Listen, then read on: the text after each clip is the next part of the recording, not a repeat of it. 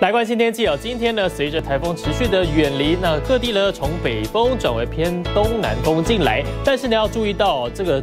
近海还是有大浪的出现，像是在基隆北海岸、宜兰以及花莲的近海，都还是有观测到长浪，海边活动同样要注意安全。那在背风侧，今天的空气品质是比较差一些。我们来看一下整个西半部地区，尤其是中部地区哦，今天呢都有出现不良等级。那你在户外活动一定要记得做好防护，戴上口罩。另外在高温的部分呢，今天有八个县市发布了高温的灯号，北部以及西半部地区、南台湾、台东都有高温出现。那最高温出现。在台东的东河是有来到三十六点一度，呃，中午前后户外活动记得多补充水分喽。下午详细预测供给您。